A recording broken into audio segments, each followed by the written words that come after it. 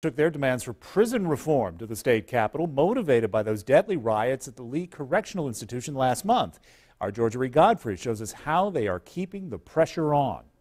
Activists from several different organizations were here this morning to speak with lawmakers about their concerns following that deadly fight at Lee Correctional. They're calling for sentence reform, an increase in staffing, and a change in attitude. I asked for the warding warden resignation because I felt that he didn't need to be there anymore because of uh, those guys that died in that prison. Activists are putting pressure on lawmakers after a prison fight that left seven inmates dead. Some want more money invested into staffing and programs for inmates to help with the rehabilitation process.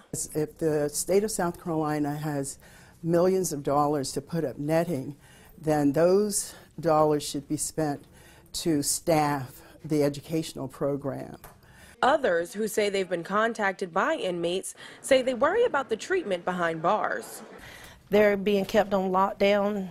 They're not getting proper food. They're being denied showers. The groups have visited Lee Correctional a few times since the fight with hopes of getting a glimpse inside and say they will keep trying until they succeed.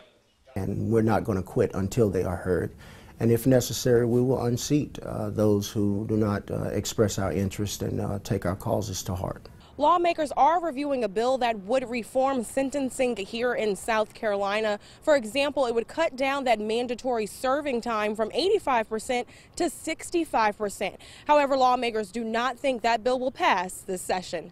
In Columbia, Georgia Godfrey, 7 News time is running out on this session. We did reach out to the Department of Corrections about the concerns that these groups have. We'll let you know when we hear back from them.